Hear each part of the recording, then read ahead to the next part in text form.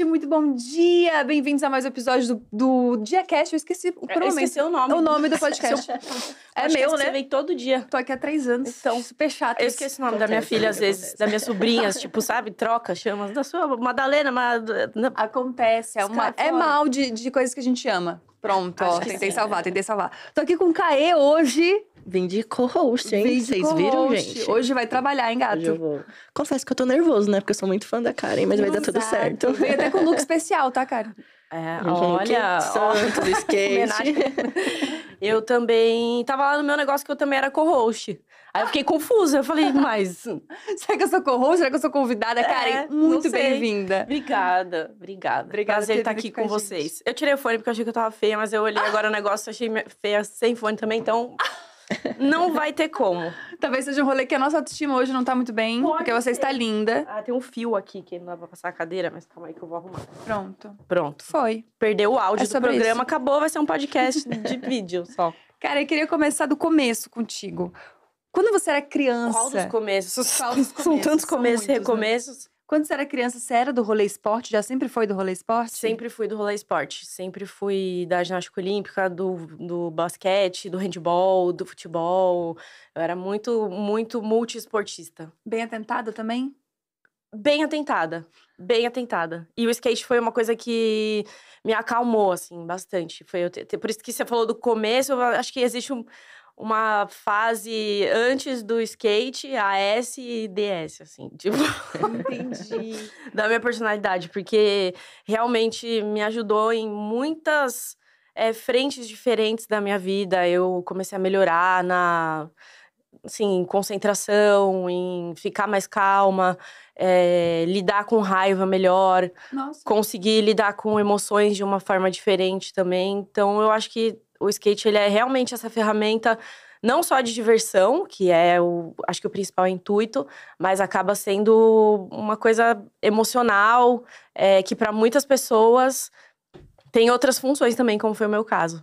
E quando é que o skate entrou na tua vida e por quê? Alguém te apresentou o skate? Você quis do nada? Eu sou de Santos e eu surfava com, com os meus meu pai, com, com os meus pais, não, só, só tenho um pai no caso, com meu pai.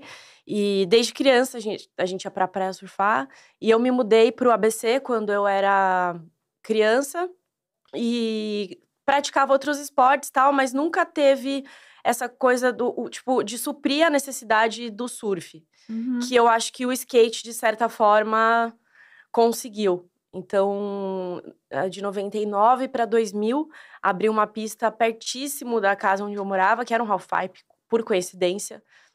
Eu tenho essa esse dharma, assim, eu moro num lugar, um half-pipe abre. Mentira, só aconteceu isso duas vezes, porque aconteceu isso agora de novo. E aí, eu andava no street, mas comecei a, a, a frequentar mais o, o Ralph, porque era, de certa forma, assim, sei lá, meus pais não gostavam muito que eu ficasse na rua, tipo, Uhum. até de noite. Eu ficava, assim, muito tempo até de noite. Então, era um ambiente um pouquinho mais seguro e também teve um, um- um fato interessante que é, eu tava sempre de pé torcido. E o street, ele, tipo, não tem como, mano. Você tem que usar o pé, você tem que usar o tornozelo, não tem outra opção. E o vertical me permitia cair de joelho e eu conseguia é, ficar dando vol- voltas, dando grind, manobra mais simples, sem forçar tanto meu pé. Então, eu acabei sendo naturalmente, assim, levada, porque era algo que me machucava menos. É muito louco. Nossa, eu, é legal que não é que não te machucava, te machucava menos. Pois é, me machucava menos, porque a dor, eu continuava a doer, mas doía menos do que doía quando eu tava andando street, porque daí era olho, flip, é uma coisa que você tá movimentando os pés ali, não tem muito o que fazer, né? E teus Aí- pais sempre foram de boa com isso, no caso. Eles foram. Ah! Eles foram de boa, mas eles us- usaram como, como chantagem também, muitas vezes. Não adianta falar que não, pai, mas se vocês estiverem ouvindo. É isso aí, vocês sabem na verdade. É, porque eu gostava muito, então acabava sendo uma moeda de troca. Tipo, se não fizer o que você quer, não de skate. Se não fizer o que você quer. Mas assim, já ouvi histórias muito piores, assim, tipo, a Letícia Buffoni, os pais dela, tipo, realmente quebraram o skate dela no meio. Nossa. Por, pra não deixar ela andar. Mas eles, eles foram de boa, sim. E eu acho que meus pais, eles tinham. Eu comecei a andar, eu tinha 17, né? Então, eles estavam numa posição de se envolver, mas não se envolver tanto, querer saber o que, que eu tava fazendo, mas ao mesmo tempo não ficavam super. Super, é, super supervisionando, porque eles tinham muita coisa pra fazer e estavam mais preocupados com as coisas deles, assim, do que do que ficar acompanhando, é, porque hoje a gente vê muitos pais, mas mais de criança pequena, principalmente, Sim. mas de criança mais velha também, que basicamente fica o, o, dia inteiro e vive em função da criança, de levar e de buscar e de ficar, e até às vezes de treinar. É, nessa, na minha época, sim, não me lembro de ter nenhum pai é, pai e mãe, né? Da época uhum. que fazia isso, das meninas, pelo menos. Depois, depois o pai do Kelvin foi um dos primeiros, assim, que, que ficava. Mas acho que da geração anterior também, dos meninos menores tinham. Mas na, na minha ali, não. Então eles mantinham uma certa distância, o que acabou sendo, acho que, saudável para mim, sabe? Porque, tipo, às vezes eu gravo um campeonato e eles comemoravam, achavam muito legal e tal ou se eu tinha uma conquista, ah, acertei aquela manobra que eu queria muito, eles nem entendiam o que, eu tava falando, mas tipo, ah, legal. É... Mas ao mesmo tempo não tinha nenhum tipo de cobrança de, tipo, ah, você tem que ter um hum. resultado, sabe? De forma alguma. E nenhum tipo de pressão também. É, eles, a primeira vez que eles foram, que eu participei de um campeonato assim, maior, não a primeira, mas uma das primeiras, foi os X Games em 2007, eu acho. E foi a primeira vez que eles de fato foram até, até a Califórnia e foram assistir, se envolveram.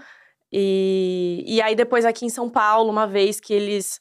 Mas era tipo, eles ficavam muito alheios a tudo que estava acontecendo. E aí, no dia do. No dia importante, era como se fosse o dia do meu aniversário. Aí todo mundo se mobilizava, sabe? Mas antes disso, estava todo mundo fazendo suas próprias coisas.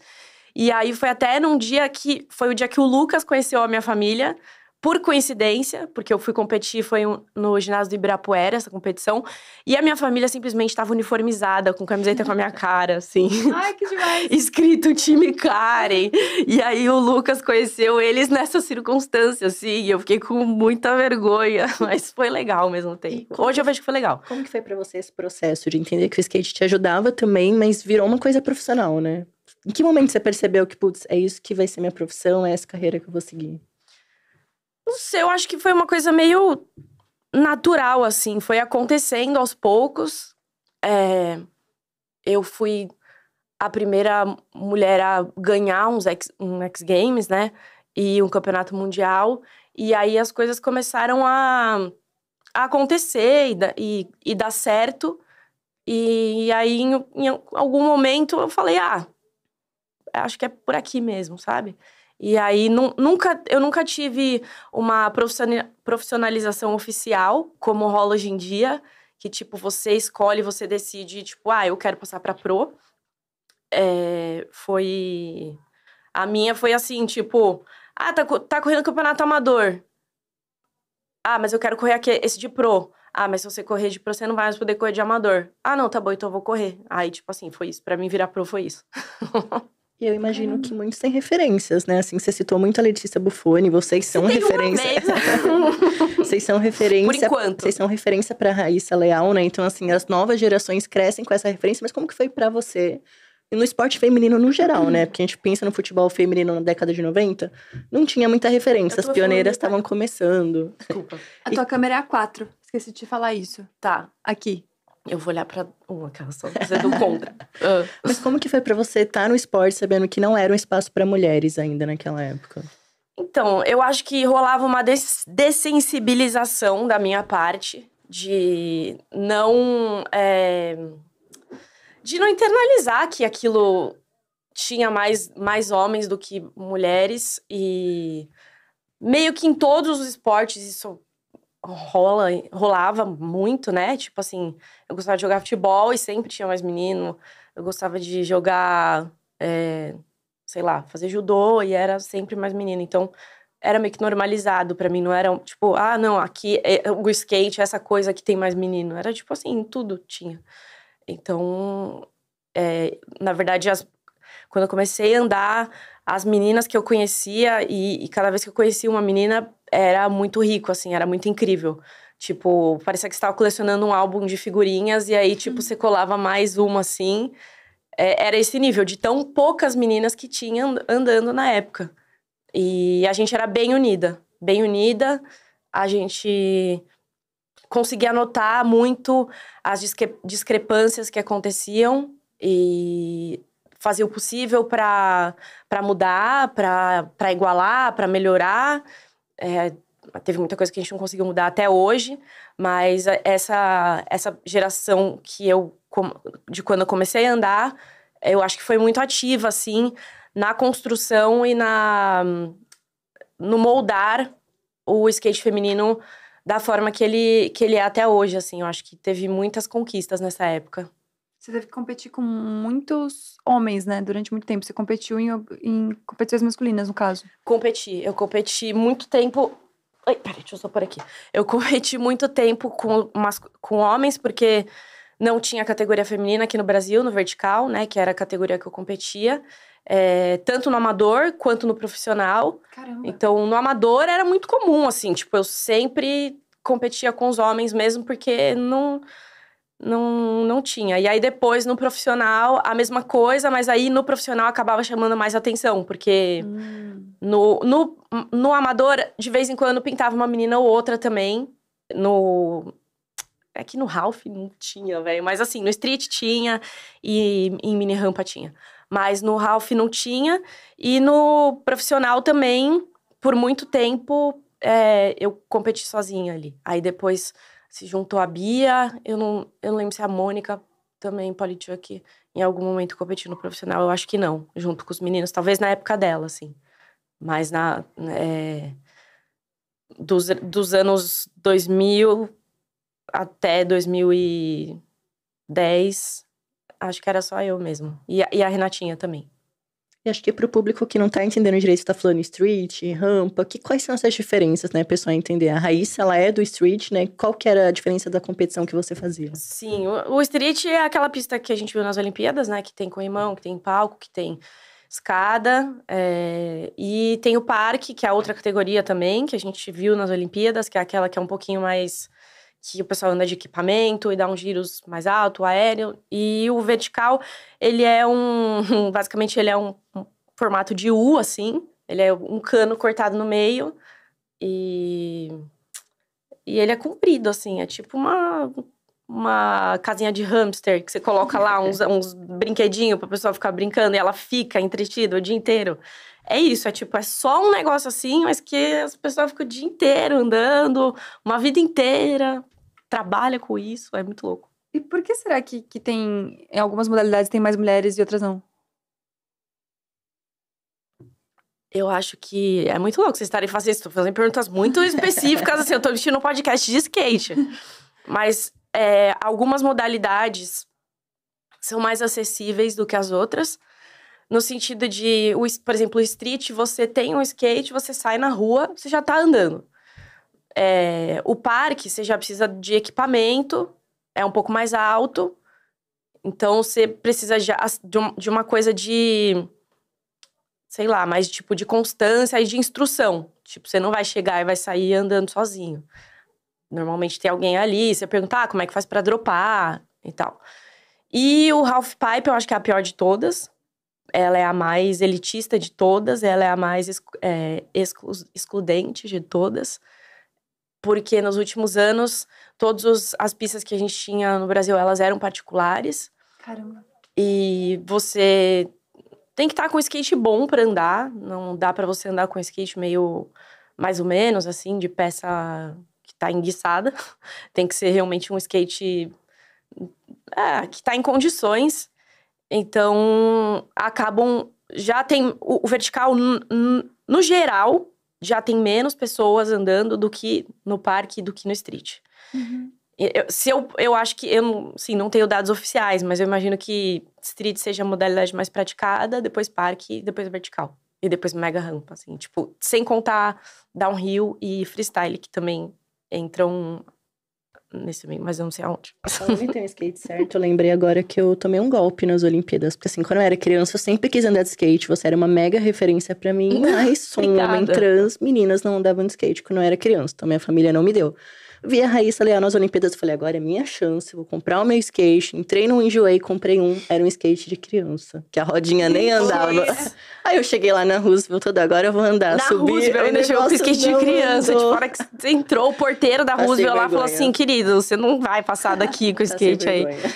É uma coisa que eu sempre falo e muitas pessoas perguntam também, né? Que se interessam e querem comprar o skate. Jamais compre skate de marca desconhecida, um skate que não seja de uma loja que, que é de confiança, skate de, assim, mercado, essas coisas. O ideal é você ir numa skate shop e pedir ajuda para o funcionário que vai estar super capacitado para te ajudar a montar o seu skate de acordo com o seu biotipo, com a com o seu nível, com o que você quer praticar. É um pouco mais caro, mas vale a pena porque é uma coisa mais de longo prazo. E outra dica que eu dou é não compra o skate logo de cara. Primeiro você vai conhece alguém que anda, né? tem o primeiro passo. Hoje em dia tá mais fácil. Sim. Antigamente, as meninas eram bem assim, não, não, não emprestavam muito, não. Mas enfim, se enturma, e aí, com certeza, você conhece alguém que anda de skate. Aí você pede emprestado, e aí você fica durante um bom tempo andando com esse skate emprestado pra ver se, não, realmente eu me apaixonei, eu vou querer fazer isso. Então, é o investimento eu fiz que errado, eu vou né, fazer. Entendeu? tudo né? errado. Tudo. Tudo você fez. errado. É bom que você já deu o exemplo perfeito Exato. do que não fazer. Não sejam como eu, gente, entendeu? Agora vocês têm aí a cartilha de como andar de skate. De como Só- comprar um skate, de como- começar e de como não comprar um skate também. É, eu tenho um trauma com skate, que meu irmão comprou um quando a gente era muito pequeno, e aí a gente tava andando, e aí ele tentou me ajudar a fazer uma manobra, qualquer coisa. Ele colocou a mão embaixo do skate e perdeu uma unha. Nossa, eu achei que você ia falar que você quebrou a perna, mas tipo, Não, ele. Foi ele que se o ferrou. trauma é dele, não é seu. E Então, eu é um fiquei desesperada, falei, nunca mais, trauma vi sangue. compartilhado. É um trauma compartilhado. Mas você tá falando muito desse lugar de ser orgânico, de que as coisas foram acontecendo, mas não teve um momento de plano B, assim, tipo, tá, talvez eu precise fazer uma faculdade de X coisa, talvez eu vá pra essa área, talvez eu Aham. faça tal coisa. Eu fazia faculdade de rádio e TV, e aí, durante a faculdade, eu é, meio que fui faltando muito, assim. É, porque eu tava com bastante calendário de evento. E... Mas eu tinha esse plano B, mas ele sempre foi o plano B.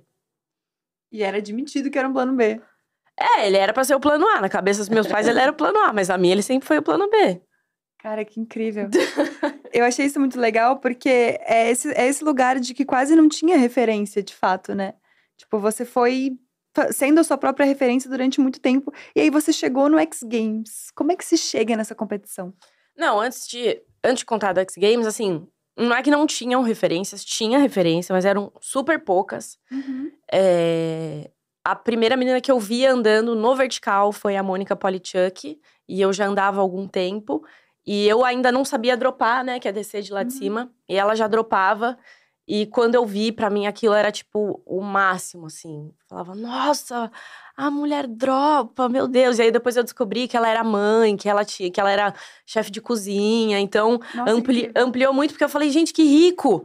Né? Ela, ela tá andando de skate, mas ela tem todo um outro universo ao redor dela, que, tipo, que personagem complexo. Tipo, eu quero ser isso. Eu era uma menina ali, tinha 17, 16, 17.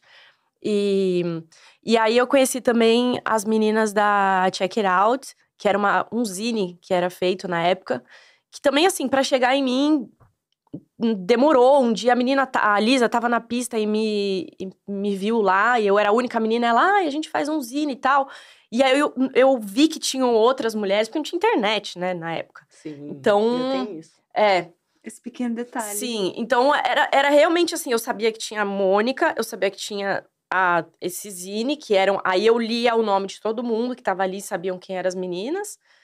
E aí eu descobri que na Califórnia era muito mais popular e tinham competições e tinha acampamentos e a coisa meio que acontecia lá. E aí uma vez meu pai foi viajar e eu queria um tênis de skate. Eu tinha um tênis que era de uma marca. Não era nenhuma marca reconhecida nacional, era essas, tipo. Era um tênis falsificado. E aí eu queria muito um, um, um Vans. E meu pai foi pra lá, e na época não era nem moda, né? E ele trouxe o tênis, e por coincidência, e eu juro que foi por coincidência, porque, tipo assim, como é que meu pai não ia nem se ligar? Era o promodel da Carabete, que era, que era, assim, foi minha maior ídola durante toda a minha carreira, até hoje. É... E, e porque na, tem, tinha uma foto dela na tag que ela tava, tipo, completamente. É... Completamente.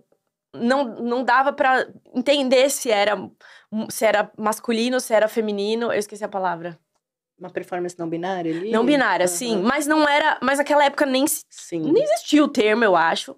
Não se falava sobre, mas ela tava, tipo, eu lembro que ela tava com um capacete, um cabelo meio de cuia, assim, um, um tênis, tipo esse aqui, o grandinho que eu tô, e, um- e uma calça assim, e de equipamento. E eu falei, mano, essa, essa mina é muito foda. E eu vi que era, assim, era meio andrógeno, mas, é- mas eu vi que era mulher por causa do nome, e aí eu fiquei, tipo, meu cérebro explodiu. Eu falei, nossa. É, é isso que eu quero. Eu tenho certeza que é isso que eu quero, que eu ser igual essa, essa mulher aí. Que demais. Que E como que foi estar no X Games pela primeira vez? Sim. É, eu sou meio lesada, né? Então eu respondo as perguntas, tipo, às vezes eu esqueço, depois eu volto. Mas só pra complementar essa, que daí a gen- eu tinha essas referências, mas elas eram distantes.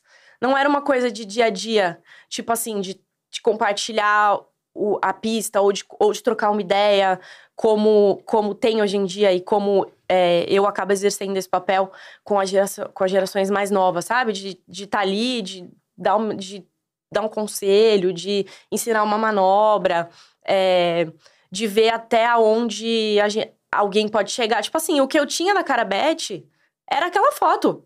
Eu não tinha, Uhum. tipo, eu não tinha a história dela. Eu não sabia Não tinha um Instagram pra você ficar vendo os Não. vídeos que ela postava. não, eu não sabia. é. Eu não sabia o que, que ela, se ela já tinha competido, o que, que ela tinha ganhado, é, quem era ela. Então eu demorei, tipo assim, quatro anos pra ir descobrindo que ela também era campeã de snowboard, campeã olímpica de snowboard, que ela tinha uma história, e, e aí que tinham outras meninas. Então, a referência, né, quando a gente, quando é, você fala que eu fui minha própria referência em muitos momentos, sim, porque as referências que eu tinha eram muito distantes, eram muito poucas, apesar de ter um valor inestimável e de serem muito válidas e muito importantes.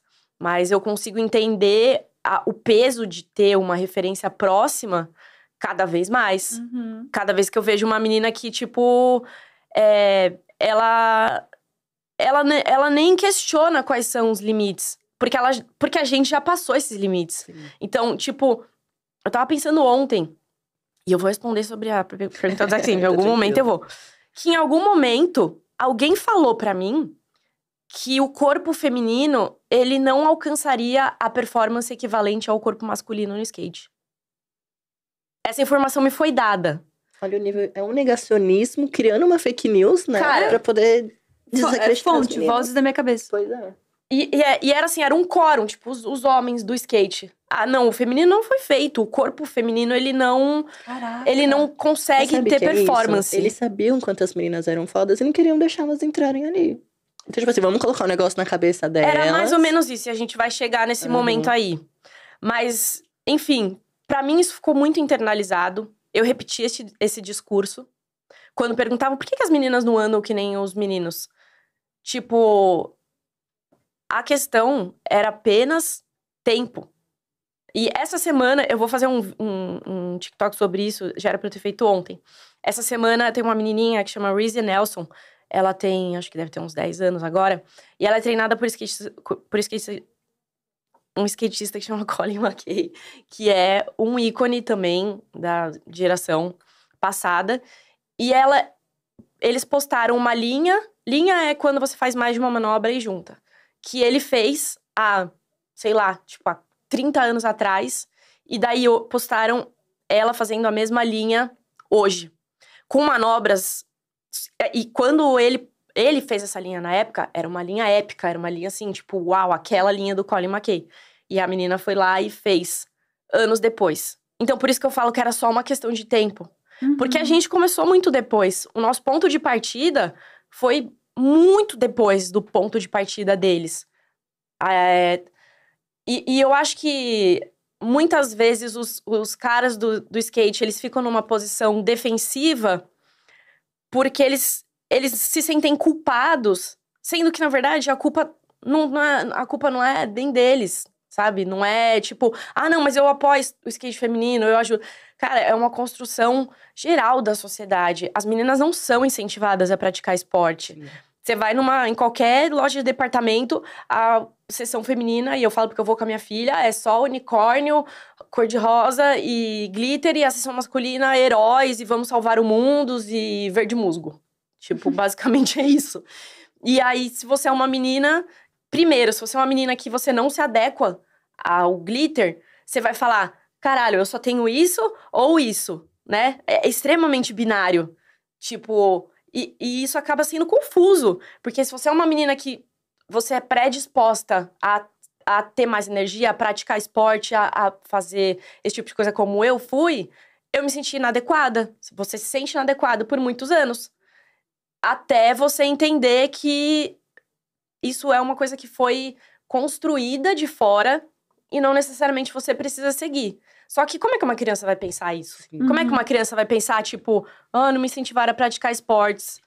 Putz, porque eu sou menina. Quando ela vê, ela já tem 20 anos e ela tá com colesterol alto, achando que ela tem que se matar na academia, com bulimia, com várias questões, por, por causa da construção da, dessa infância. Uhum. Que pra mim fica cada vez mais claro que, assim, o que eu puder fazer pra contribuir pra ter um pouco de mudança disso, incentivar as meninas a fazerem esporte, que seja, no meu caso, o skate, que é a ferramenta que eu tenho pra oferecer, ou qualquer outro esporte, é, o que, é, é minha missão, assim. Mas viu como as coisas estão conectadas? Você falando disso de roupa, por isso que eu vi em você uma referência, né? Porque assim, eu não entendia que eu era uma criança trans, um corpo trans no mundo, mas pensava, putz, eu sou o tipo de pessoa que quer me vestir dessa forma. Como Sim. a Karen tá se vestindo, como as meninas do skate estão se vestindo. Então, de certa forma, vocês ajudaram muitas pessoas trans também, saiba disso, indiretamente. É, assim, basicamente eu me vestia igual eu tô hoje, só que em vez de top eu tava com uma camiseta até o joelho, assim, né? E eu acho que pra mim era muito confuso também, porque eu não cabia na sessão feminina, nunca coube, e eu questionava isso e falava: o que, que, que eu tenho que fazer? Será que eu sou um cara? E aí, uma época, eu comecei a me vestir realmente igual um cara e, me- e- e pegar toda essa questão de gênero. é, nos campeonatos eu não eu não gostava quando descobriam que eu era menina, tipo, eu tentava esconder, mas ao mesmo tempo também eu não queria ser um cara. Então é, é tipo, você fica num, num universo ali que não tinha, nada tinha nome e a gente se vestia com camiseta grande e com calça porque era a roupa mais confortável para andar de skate e porque a gente gostava até hoje, eu gosto de, de vestir roupa enorme. Só que eu acho que hoje as coisas é, dando nome fica tudo mais fácil, né? Sim. Vem muito desse lugar de referência também, de novo, né? Porque é, como todas as referências eram masculinas, parecia que o, o masculino era o certo. É, E qualquer coisa que não fosse isso, tava Sim. errado. exatamente. E aí, por um lado, tipo, eu odiava ser mulher, eu odiava tudo relacionado ao feminino, tudo e qualquer coisa. Caramba, que loucura. Só que eu achava que eu queria ser um cara. Só que, tipo, depois eu entendi que não, não é que eu queria ser um cara. É só que eu não queria ser estigmatizada de coisa nenhuma. E é muito recente a gente discutir mulheridades, né? Não existe um jeito só de ser mulher, existem vários. Da mesma forma que existem vários jeitos de ser homem. Mas até muito coisa que 15 anos atrás a gente não tava discutindo isso, sabe? É uma coisa Não. muito recente, de 10, 5 anos. O que acabava trazen- trazendo muita confusão, né? E eu acho que foi, foi o que você falou, assim, você vê outras pessoas, você acaba se identificando e se acalmando um pouco, né? Acalma o coração, tipo assim, ai, nossa, é, é- eu quero me vestir igual a Billie Eilish. Você percebe que não é você que tá, é a pessoa errada, né? É a forma que a sociedade tá Sim. fazendo as coisas acontecerem. Sim, eu entendi isso também, mas assim, foi- eu, eu entendi sozinha, tipo, há, há alguns anos atrás. E aí, depois, hoje se discute mais, mas eu acho que é, é algo que ainda precisa ser muito falado. Com toda certeza. E assim, voltando ao X Games, Opa! pergunta! o que, que, que que acontece pra se chegar até o X Games?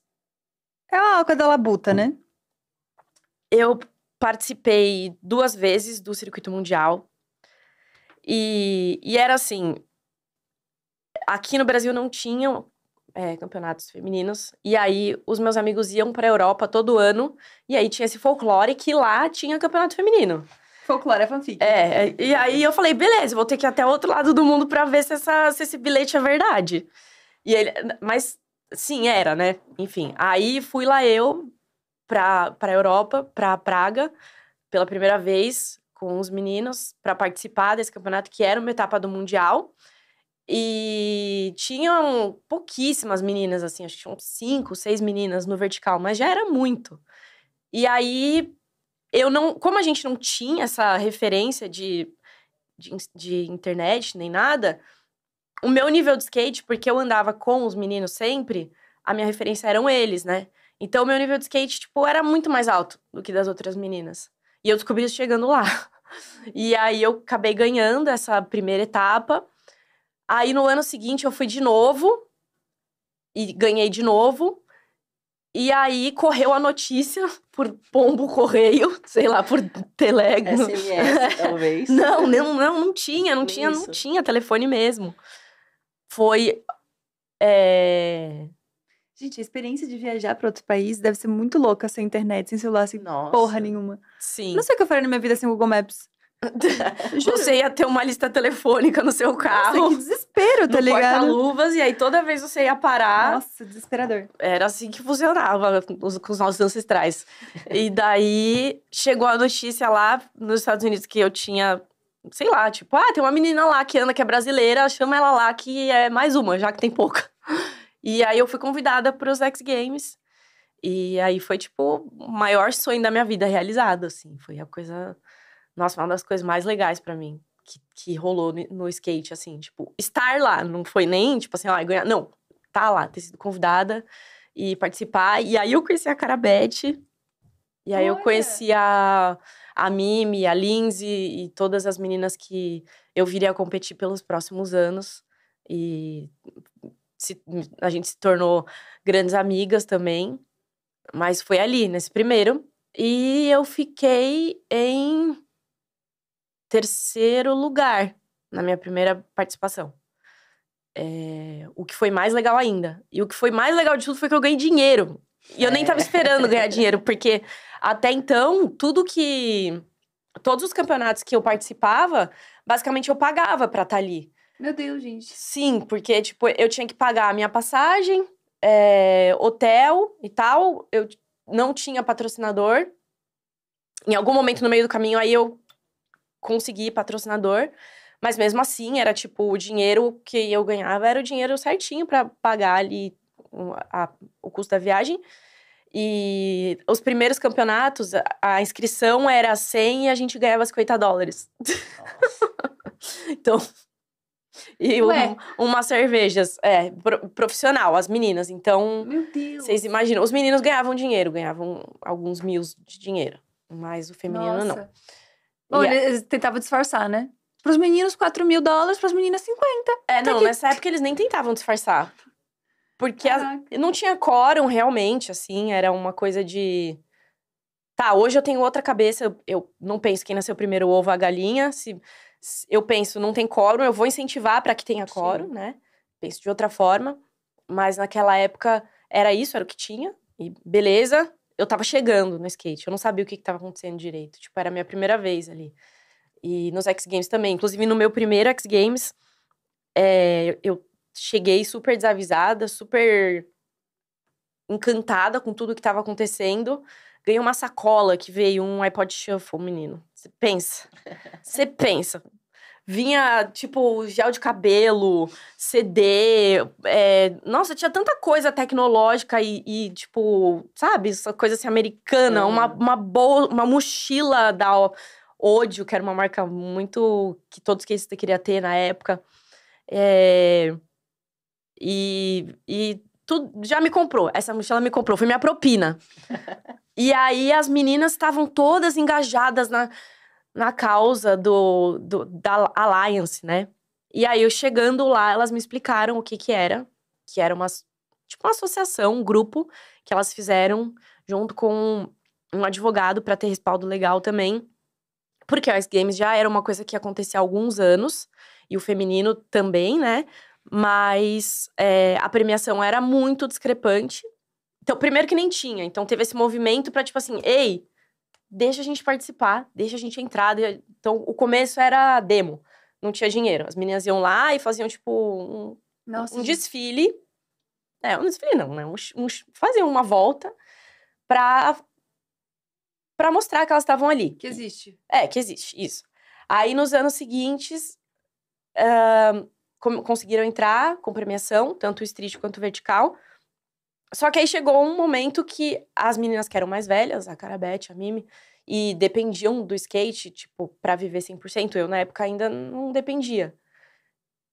Elas é, viram que era necessário fazer esse movimento para aumentar a premiação e para igualar a premiação. Uhum. Né? Que no caso, no, o masculino acho que era 50 mil dólares e o feminino era 15, alguma coisa assim.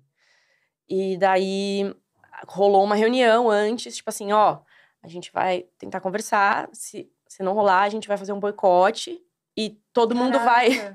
Eu não sei se é funcional muito o boicote, mas enfim, tipo, eu tava com elas.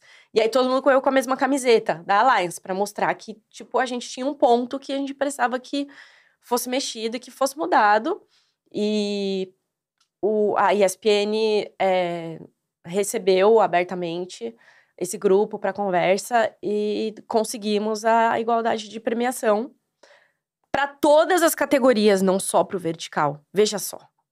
O vertical, alguns anos depois, e esse é um argumento idiota que às vezes as pessoas querem jogar na minha cara. Ai, vocês pediram para aumentar a premiação e aí depois foi lá e viu, acabou, tirar o vertical. Só que a premiação do street continuou alta por causa do movimento que a gente fez no vertical. Uhum. Ponto final. Até hoje. e você foi quatro vezes campeã mundial. Aham. Uhum. Em que tempo foi, foi tudo isso? Ai, meu Deus. Porque eu não tô conseguindo colocar numa linha do tempo, tô ficando meio desesperada. Eu também, eu preciso às vezes olhar no Google, mas deixa eu ver. Eu preciso olhar no Google minha própria história. própria história que tá o próprio Eu confundo muito mesmo. É, o primeiro ano, eu acho que foi 2005, 2006, 2008, e depois 2000 foi 2015, que foi o último ano antes de eu engravidar da Sky, ou 2014. Enfim, não importa muito. foram, foram dois mil e poucos. Que foi é, explicar, né, o que, que é o, o circuito mundial. Na época ele não tinha muitas etapas. Ele tinha, é, como tem hoje, que, sei lá, deve ter tipo umas oito, nove etapas. Na época eram três ou quatro no máximo.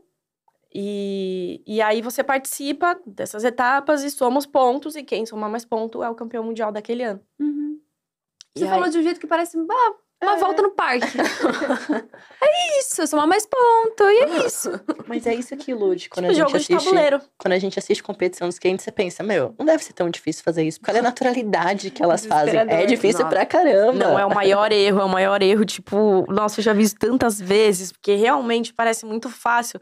E aí você fala assim: não, vou lá e vou fazer. Aí você coloca lá em cima e, tipo, e desce e cai de cara, porque não é tão fácil quanto parece.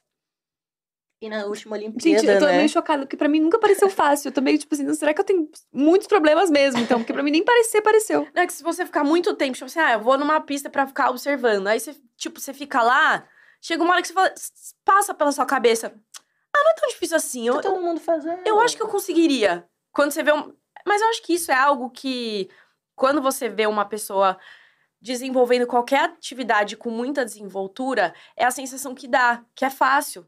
Você fala assim, nossa, não, essa pessoa não tá se esforçando. Porque uhum. realmente, quem é muito bom e tem uma naturalidade na coisa, não aparenta esforço. E aí dá a falsa sensação de que é fácil. Mas às vezes não é, às vezes é, mas às vezes não. E na última Olimpíada foi a primeira vez que o skate chegou então, né? Se tornou um esporte olímpico. Como que foi para você? Você queria que isso tivesse sido alguns anos antes para você poder competir também numa Olimpíada ou é algo que você nunca imaginou que poderia acontecer?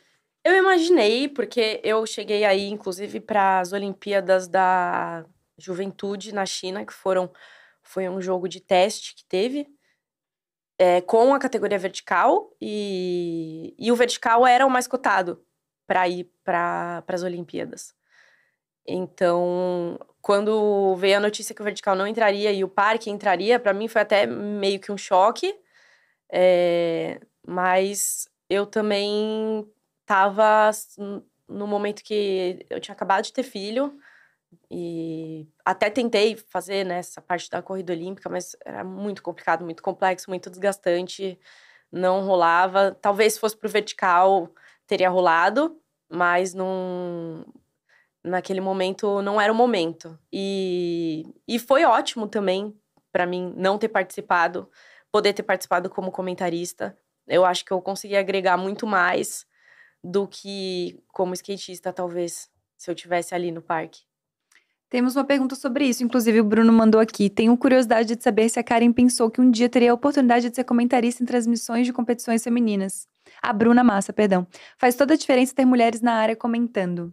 E a Bruna também falou que adorava os teus vídeos que você fazia mostrando como desenhava e tal. Ah, obrigada, Bruna. Então, é... eu sou uma. Além de eu andar de skate, eu sou uma entusiasta do skate feminino. Porque às vezes você faz um esporte, mas você não gosta de assistir. Por exemplo, eu gosto muito de jogar futebol, mas eu não gosto de assistir futebol. Uhum. Tirando quando é um jogo que tá todo mundo torcendo junto, assim, tipo, sei Copa lá. Do mundo. Copa do Mundo, essa coisa, tá todo uhum. mundo muito envolvido. Mas, tipo, eu não. Mas eu amo jogar futebol. E, e, e o skate, não. Tipo, eu amo andar e eu amo tudo que envolve skate. Eu amo, tipo, conversar sobre. Eu sou nerd de skate. Eu amo conversar sobre peça, eu amo conversar sobre história, eu amo conversar sobre é, as fofocas, tipo, tudo assim. E eu esqueci a pergunta. As fofocas. eu já fiquei querendo uns fofocas. Se você já pensou Nossa, como seria ser. Como... Mentira. Bom, já entrar nesse não, ponto não já nada, já. Vai, nada. vai entrar nesse ponto já já. é, se você já tinha pensado em ser comentarista numa competição feminina. É, sim. Então, e aí, como entusiasta, né, do, do esporte, eu via as competições femininas aqui no Brasil sendo comentados com muito descaso com muito Sempre descaso. Uma comparação com o masculino. Com muito. Uhum. Eu não sei se em comparação, assim, mas o descaso que eu digo era tipo. A pessoa que tava comentando ali, ela não sabia nem o nome da menina que tava, tava andando direito, ela não sabia a história dela. Tipo, ela não. Às vezes ia comentar e, e o skate faz parte, tipo assim, ah, Gabi Mazeto, que foi mãe agora, sabe? Você saber um pouco do backgra background da pessoa. Tipo, é, saber um pouco da história, porque além é, skate vai para além de manobras, eu acho que na transmissão também. Uhum. Porque senão fica só aquela coisa, tipo, backside tail. Frontside tail slide. que ninguém entende, né? Kickflip. É difícil demais. Nossa, é complexo. É. Mas tipo... eu lembro muito da transmissão, a primeira, a primeira vez que a Gabi voltou, né, depois da gestação, a sua animação falando, porque é isso, né? Acho que também talvez a Karen, em 2015, quando foi mãe da Sky, viu muito ali na Gabi, né? Tinha acabado de ser mãe, tava lá competindo como se nada tivesse acontecido. Benzona em cima do skate. Total, e, e era algo que eu não conseguiria ter feito o que ela fez.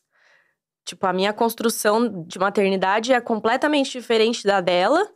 E cada, né, e isso que é muito louco, assim, tipo, não dá para comparar. E eu jamais teria conseguido fazer o que ela fez. E acho que é incrível da, da, maneira. E talvez ela também não tivesse conseguido fazer o que eu fiz e, e não teria conseguido abrir mão de várias coisas. Mas eu, tipo, sou uma time das mães, velho.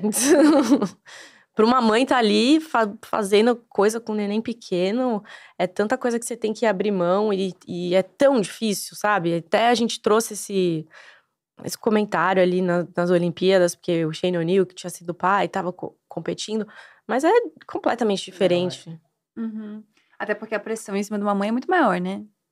A eu, culpa, enfim. É, eu acho que não é nem só, não é nem a pressão, é pela, tipo, o tanto de coisa que realmente que você tem a fazer ali, tipo, você tem o amamentar, o estar tá junto com a criança, os cuidados psicológicos e tal, que é uma coisa que ah, eu desculpem amigos skatistas, eu tô aqui para falar a verdade, mas são pouquíssimos ao longo da minha trajetória toda, desde que eu comecei a andar e hoje em dia, claro que eu percebo muito mais que quando são recém-pais dão uma sumida e ficam em casa, dando aquela força.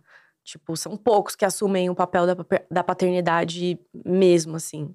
Uhum. Hoje em dia tem alguns bons exemplos, mas, hum, sim, uma porcentagem que é discrepante. Então, você ser comentarista de competições femininas é muito nesse lugar também de, de saber exaltar o, o, o esporte feminino, né?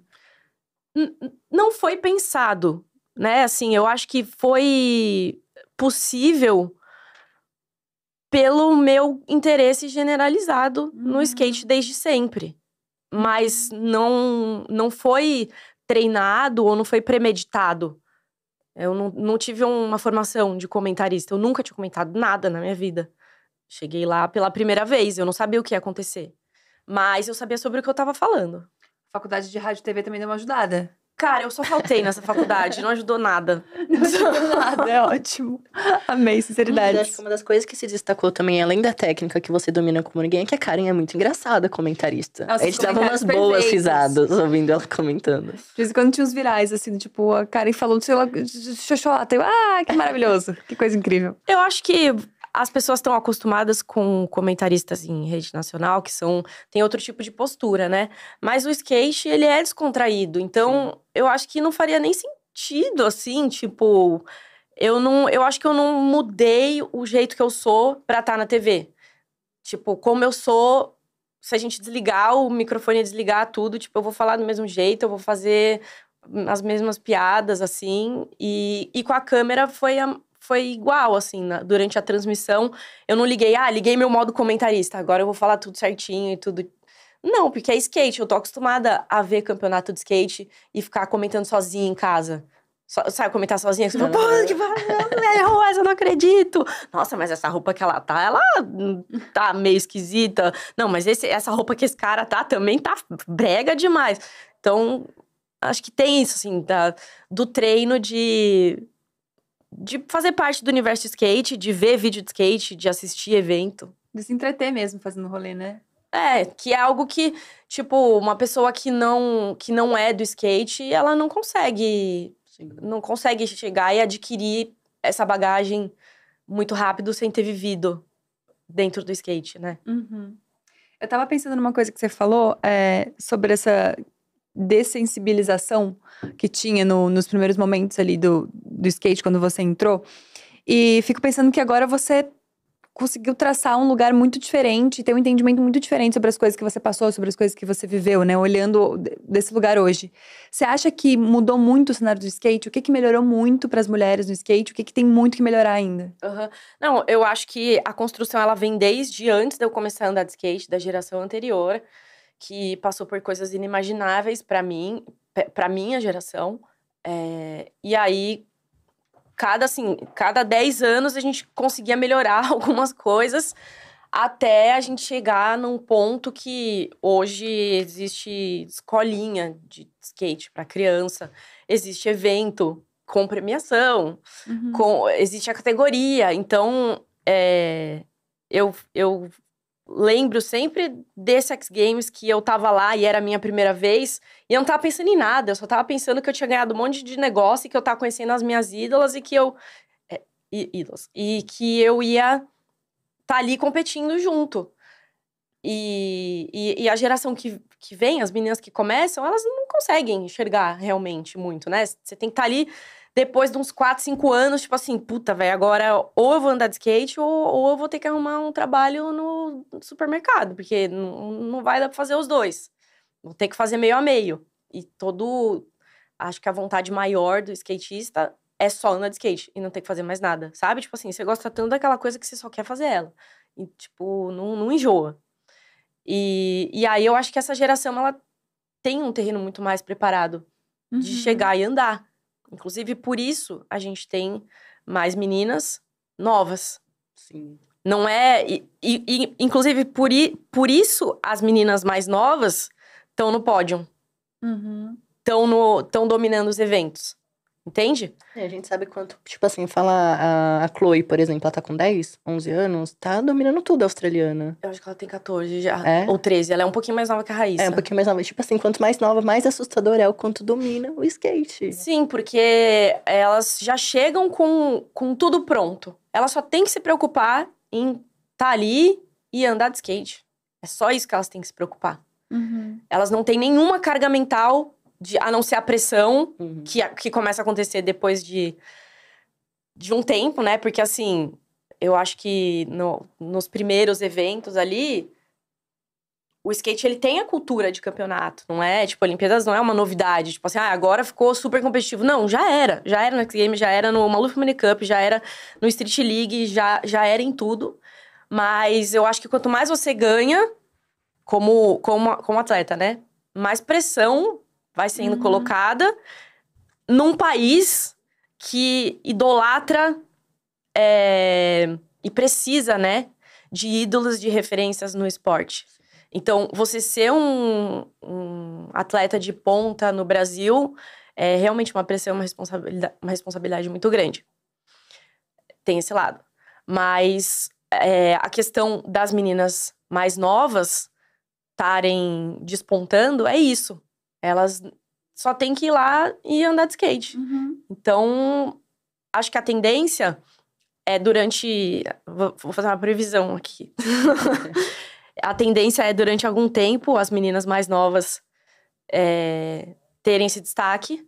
Essas meninas vão crescendo, vai chegando outra geração mais nova ainda, que vai conseguindo superar, mas vai chegar um momento em que vai estabilizar, vai, a gente vai conseguir estabilizar numa faixa etária de uma geração que teve, que pôde ter todo um desenvolvimento dentro do skate desde muito nova e chegar na, numa maturidade, numa idade é, de maturidade até, acho que emocional e física, que, que permite estar no auge. Eu acho que Uhum. mais pra frente a gente vai ver isso, sabe? Meninas um pouco, um pouco mais velhas. a- Uhum. é, E claro que a geração mais nova sempre vai estar vindo, sempre vai estar trazendo inovação. Mas eu acho que a gente vai ter um quórum maior. Até porque Demais.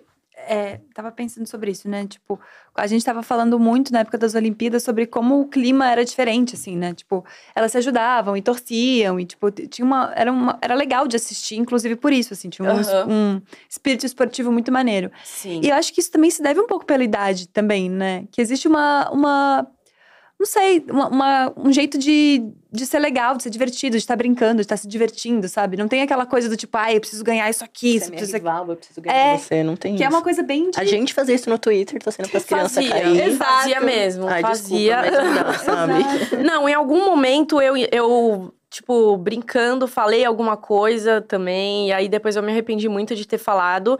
E eu acho que o, o meu papel para as próximas Olimpíadas é continuar mostrando que eu- skate é diferente dos outros esportes. Tipo, Uhum. inevitavelmente, porra, tá ali dentro e é, agora é um esporte.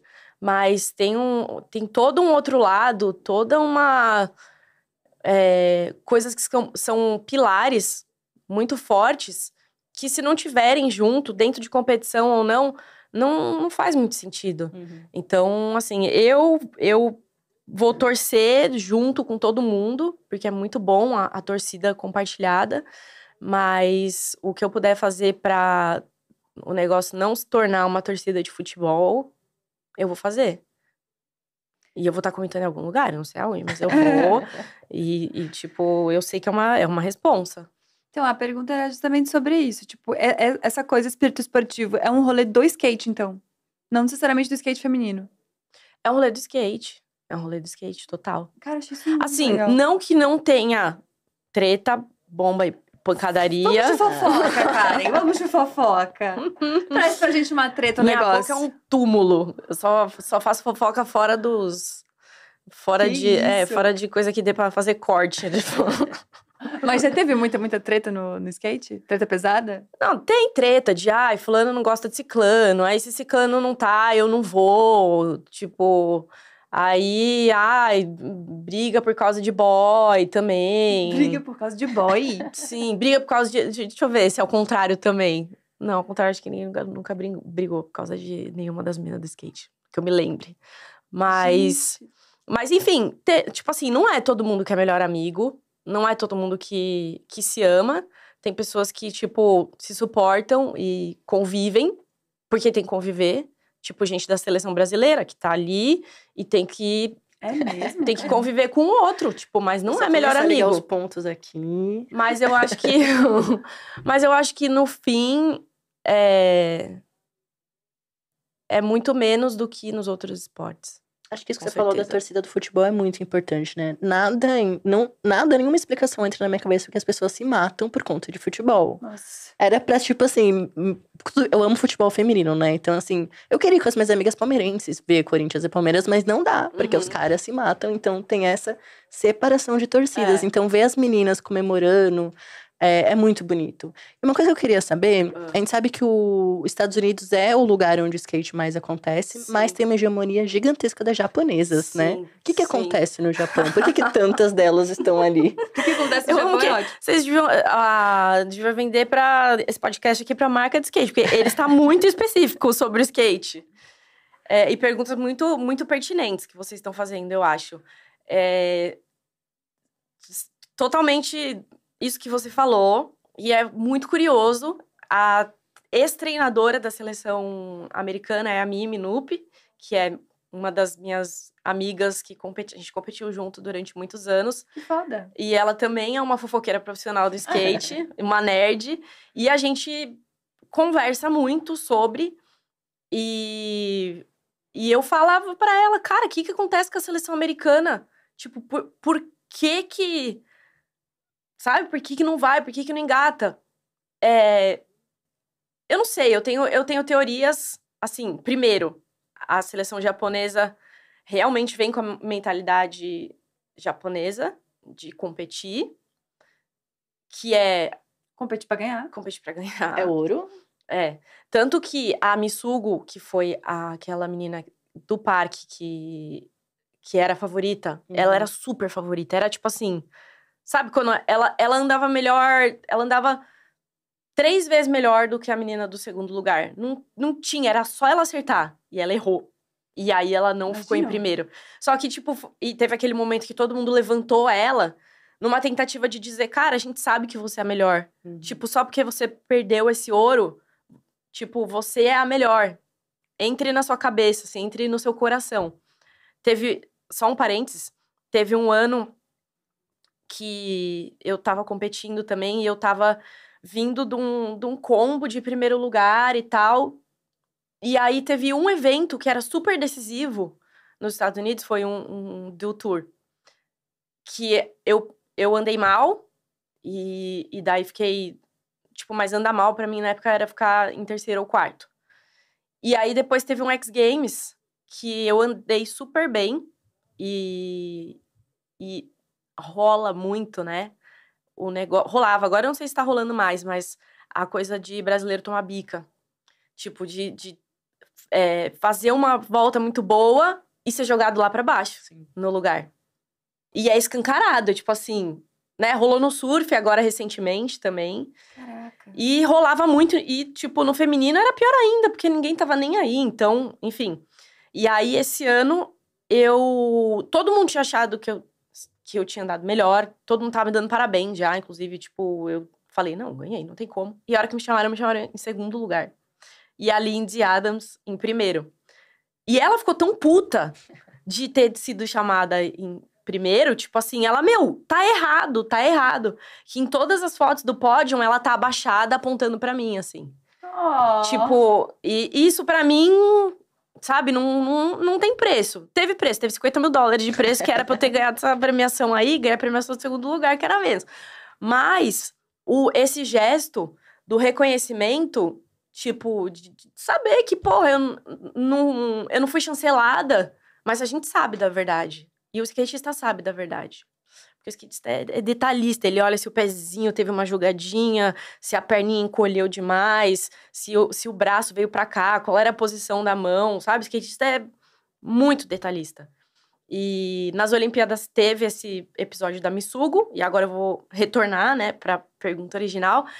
É, ela era um projeto. Ela parou de andar de skate, porque ela não ganhou o ouro. Nossa. Mentira. E aí agora já deve ter outros projetos. Mas ela parou. Porque realmente a coisa dela era, tipo, competir para ganhar o ouro e ela não ganhou o ouro, sei lá, se ela não se sentiu digna ou, Caraca, que era.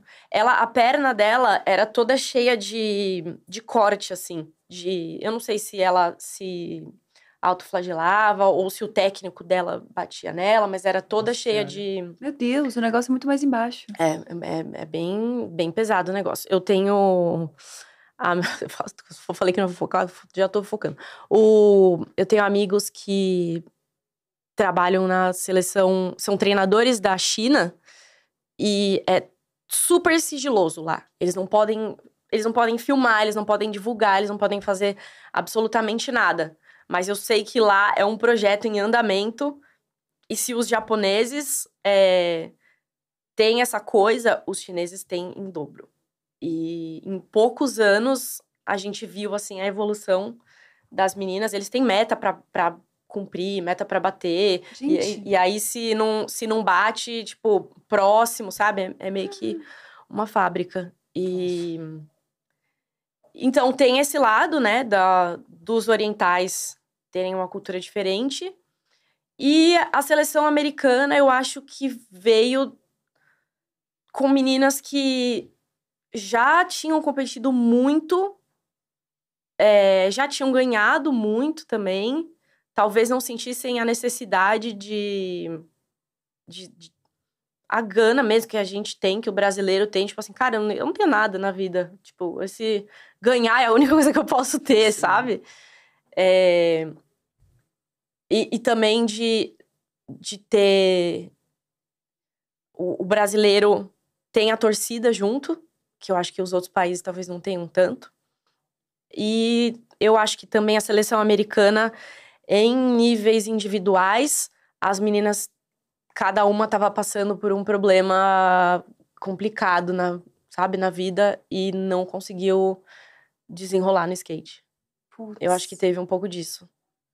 Nossa, tem mais essa, essa coisa também. Sim, Que tu tem uma vida, né? Se a tua vida não tá bem, Pois é. sim. É nossa. coisa de segundos ali que você tem que estar muito. Um, Ah. é isso, como você falou, um pezinho fora. É. Teve uma é mina que a gente adotou também, né? O brasileiro adotou. Além da raiz, além das brasileiras. Ma- Mag. Mardi. Qual era o Sim. país? Pelo amor de Deus. Ela é da Filipinas. Filipinas, eu Filipinas, acho. ela é maravilhosa. É Que a eu galera adotei- adotou muito. Eu adotei a Momiji. Eu tenho um carinho. Quando, quando a Momiji, quando a Raíssa pede pra Momiji, eu falo, tudo bem, vai. Foi a Momiji que ganhou. tá tudo certo. Ela é, ela é muito fofinha. Ela né? é muito fofa. É. Não dá pra não ter raiva dela. Não tem como, Sim. gente.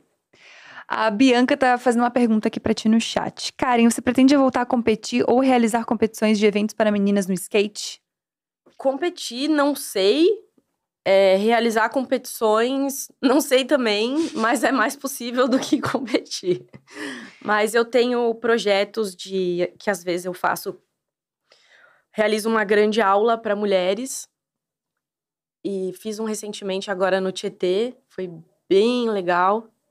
Então eu tô, além de de estar nativa andando de skate, é, como é que fala quando o surfista quando ele não é free free rider? Não, quando ele é quando ele é competitivo. Não Com- peguei- com não- você, é, amigo. Eu não peguei a ref. Mas é isso, né? Você não compete mais, mas parar de andar de skate não tá nos seus planos. Não tá nem um pouco nos meus planos. Meu joelho tenta, tenta, tenta, mas Ele eu perde um respiro. É, não, eu tô lutando com ele, assim, junto com ele pra melhorar, pra eu conseguir ter uma qualidade de vida e uma longevidade no skate, que é o que eu mais quero. E talvez eu voltaria a competir numa categoria é, que fizesse sentido pra mim, sabe? Eu competi nos Estados Unidos, eles têm um, um campeonato que é o, o Pool Party, e eles que é só feminino e tem assim categoria de 11 a 13 anos, de 14 a 16, de 16 a não sei o quê. Tem tipo umas 20 categorias. Você pode escolher a categoria que você vai competir. E aí eu cheguei a competir logo depois, quando esse cara era bem pequenininha mesmo, eu competi na, na categoria é, Pro Master. E ganhei. E foi muito legal, porque eu competi com as meninas que eu competia na minha época. Que demais. Que Então, massa! Eu acho que isso foi o, o principal pra mim.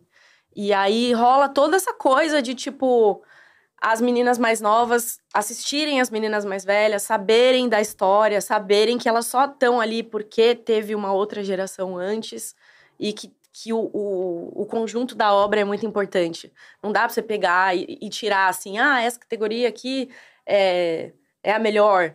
Não, tipo assim, é, um, é uma festa o negócio e é muito bonito. Então, se eu for fazer algum evento, pode ter certeza que vai ser nesse sentido, para tentar incluir o máximo de, de mulheres que se sintam aptas a participar. Que foda. Cara, a gente falou muito de skate até agora, mas você também é pintora, cantora, compositora, pilota avião, também anda de para, sabe? Tipo, faz muita coisa ao mesmo deixar. tempo.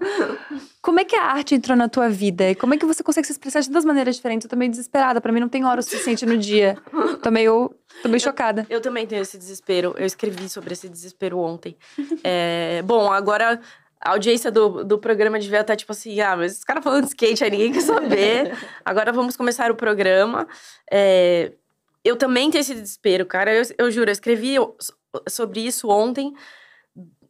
Eu não sei como resolver, eu acho que vou ter que falar na terapia, porque eu acho muitas coisas muito legais e eu fico querendo ser essas coisas e, e, e participar e aprender e tipo eu tenho uma coisa com, com aprender a fazer, eu acho intrigante não saber fazer, e daí, de repente, você aprende, desbloqueia. Eu acho que é uma mágica, assim, em tudo.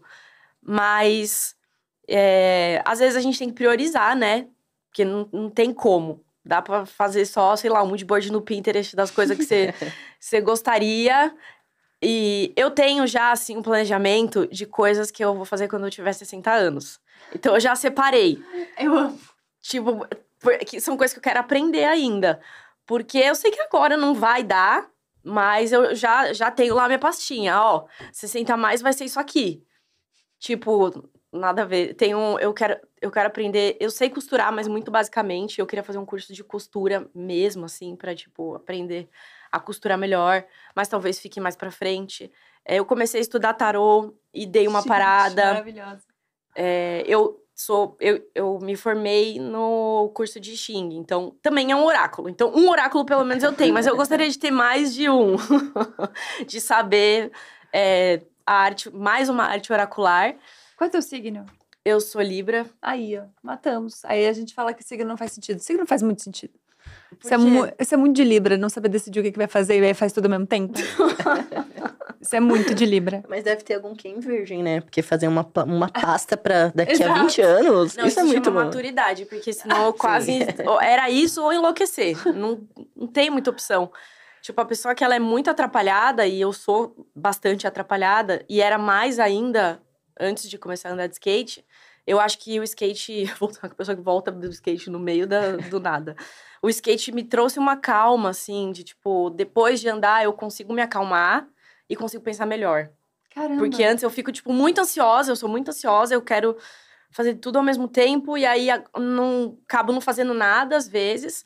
E aí, quando eu tô mais calma, eu consigo ficar mais focada e consigo decidir. Um processo terapêutico mesmo. É, total. Então. Mas, eu, mas é isso, assim. Acho que foram, foram fases e tudo jun, junto ao skate, né? E quando você não tem filho, é o. Essa é a grande diferença, é não ter filho. Que aí você consegue fazer um monte de coisa. Depois de você ter filho, você consegue fazer menos. Até provavelmente eles crescerem, né? Então, eu ainda tô nessa fase. Agora eu tô numa fase que eu tenho mais tempo para mim, tenho mais tempo para para fazer coisas que eu gosto, mas durante muito tempo não, era assim, dedicação mais é, exclusiva para criança, que fica muito doente, que, né, que uhum. precisa cuidados. E, e, você lançou um álbum Papel de Carta em 2022, está lançando mais coisas agora, clipe, essas coisas. Como é que tá sendo esse processo para ti? Porque é completamente outro lugar, né? Você sentar e escrever uma música, ir para um estúdio, tipo uma coisa muito diferente do que você do que você fazia. É, então, eu acho que e até foi a pergunta que você fez antes, eu não respondi. eu acho que a, a, a arte, ela entra junto com o skate, na, como cultura, é, vem junto com a música, vem junto com o gráfico, vem junto que com. Desde que eu comecei a andar de skate, eu olho os gráficos dos shapes, das rodinhas, é, os tênis, não tem como, os anúncios, a gente tá ali nessa, nesse universo, né? As músicas dos, das videopartes, as músicas que estão rolando nos campeonatos de skate. E eu toco desde criança, desenho também desde criança, sempre tive esse, esse lado bastante estimulado pelos meus pais, que tiveram, né, pô, tiveram uma visão, é, assim como a gente também tem essa visão com, com a Sky, de estimular essa parte. E a música, para mim, sempre tava, tava ali, assim, ah, tô viajando, mas eu tô fazendo uma música. E, e, isso que é louco, tipo, eu até tava pensando esses dias que eu, eu não ouço. Hoje em dia eu tô ouvindo bastante música, mas durante uma boa fase, eu não, eu não era de ouvir muito música. Até quando as pessoas me perguntavam, ah, o que, que você gosta de ouvir? Eu ficava com vergonha de responder, porque eu meio que não tinha muito uma resposta, assim. Porque às vezes eu não. Tinha períodos que eu não ouvia nada. Mas eu fazia música. Tipo, eu criava as minhas músicas, mas não... você tá muito intrigada, Gabi. Tô muito chocada. Porque é, é quase sempre o inverso disso, né? É, é, então. Mas... Porque fazer uma música é muito mais difícil do que ouvir uma música. Então, Vamos partir desse princípio. Não sei. Acho que pra gente deve ser. Pode ser, pode ser. Mas então, nesse álbum tem composições de Karen de tempos atrás? Como que funcionou para poder tem, tem algumas composições mais antigas, mas é, que foram reformuladas, né, para o momento ali que ele foi lançado. E ele é um disco que eu gosto muito. Assim, às, às, às vezes as pessoas, não sei, lançam coisas e talvez não fiquem 100% satisfeitas. Tipo, eu amo ele. Tipo, ele eu é o que você queria que fosse. Ele é o que eu queria que fosse. Eu amo ter feito ele.